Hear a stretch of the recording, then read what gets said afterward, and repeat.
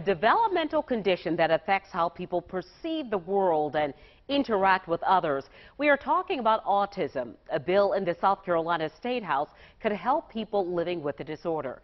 News 2's Macy McLeod spoke with a mother who wants medical marijuana approved in this state to help her daughter diagnosed with autism.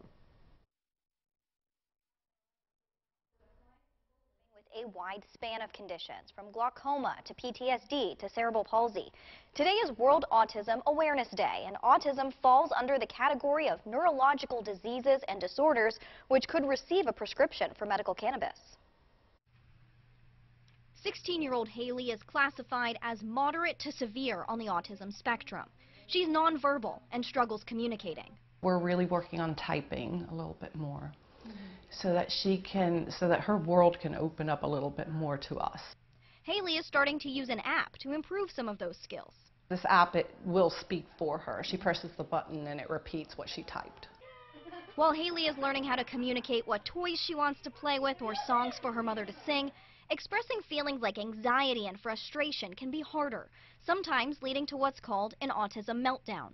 We had a lot of behavioral issues, at the grocery store checkout, waiting in line.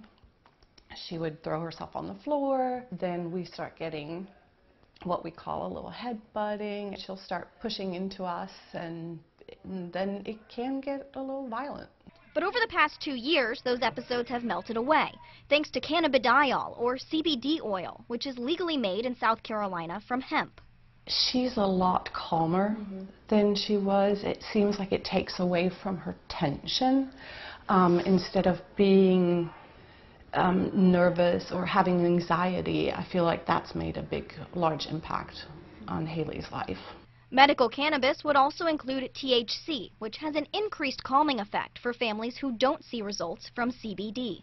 I personally know families where the child has rip the toilet off the bathroom floor, um, and they they truly struggle more than more than we do. She adds this could help children stop using other worrisome medications. There are already so many medic medications that some of these kids are on. I don't think it would be as addictive as being on an op opioid.